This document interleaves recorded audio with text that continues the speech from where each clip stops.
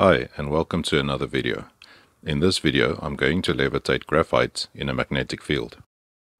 I'm going to shine a laser through water with suspended graphite flakes. I'm going to use a humidifier to blast the graphite flakes with ultrasound. I'm also going to investigate how these flakes respond to a rotating magnetic field. Take this piece of graphite pencil lead for instance.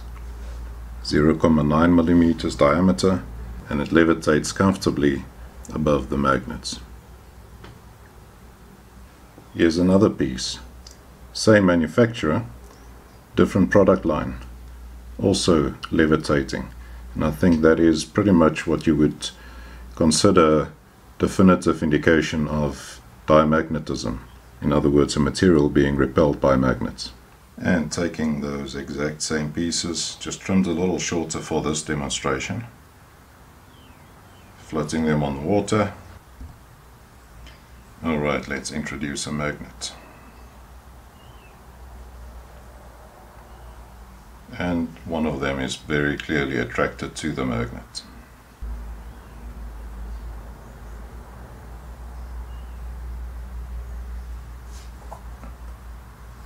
So once this one is aligned with the field, it is definitely attracted along the gradient. These are the pencil leads used for this experiment. The B green is the one that was attracted to the magnet when aligned with the field, although both of them obviously showed levitation in a magnetic field as well. So just when I thought I had diamagnetism figured out, here comes a curveball and we're back to square one. There's a really neat trick where you shine a laser through a suspended drop of water, and whatever is in the water is magnified if you project it on a screen at the back, and somehow it always seems to be nicely in focus. I held a strong magnet close to the droplet, moving it from side to side, and you can see some of the flakes are flipping back and forth as the magnetic field changes direction. You do get the odd flake with impurities that make them magnetic, I'm not sure if this is one of them, but it sure looks lively. To create flakes small enough for this demonstration, I used ultrasound. The ultrasound can travel through the walls of this plastic container, focusing the energy on whatever liquid is inside. I mixed up some graphite and water, but since the water didn't contain any soap, most of the graphite simply remained floating. I let the ultrasound do its thing for a few minutes, but I was surprised to see that at the spot on the surface where you would normally see the mist forming, there was only a small bulge in the skin formed by the graphite. I made another sample using soapy water, and it resulted in a very high energy water jet. These are the results for plain water. The one on the left employed ultrasound, the one on the right was simply shaken by hand. And these are the results for the soapy water. Again, the one on the left used ultrasound, the one on the right was simply shaken by hand, and you can see that it hardly made any difference. These results might be of value to anyone interested in the production of graphene using ultrasound. It looks like the graphite floating on the surface absorbed a lot more of the energy from the ultrasound, which is why you didn't see a lot of water droplets being splattered all over the place. All the energy went into breaking up the graphite flakes. This is the graphite powder I've been using for these experiments. It's a really old batch, so I wouldn't know if the new stuff has the same magnetic properties.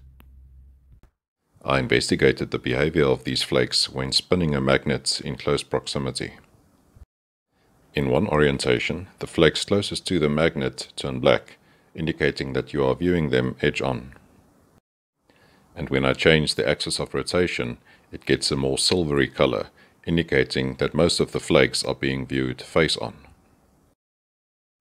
When a magnet is rotated as shown, the local field at a position just above it will also be rotating. You can however also rotate the field at that position by simply sliding the magnet past. You are just limited in how far you rotate that field. That means that in a previous video where I was sliding magnets across the surface, I was in fact creating localized rotating magnetic fields. Okay, so what does this mean? When a field is vertical but stationary, a flake positioned above the magnet will align with that field, but the field itself is really just a one-dimensional vector, whereas the flake has a two-dimensional aspect.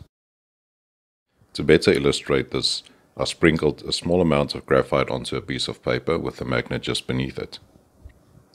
The flakes are all standing on edge, but their faces are oriented in random directions.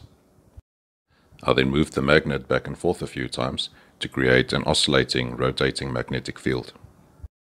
The result was that the flakes still stood on edge, but now their faces were all aligned parallel to the field plane of rotation. Towards the tip of a spinning magnet, the field lines are curved, so rather than creating a two-dimensional plane of rotation, it now creates a three-dimensional hemisphere. This volumetric hemisphere is in fact made up of individual concentric layers like the layers inside an onion.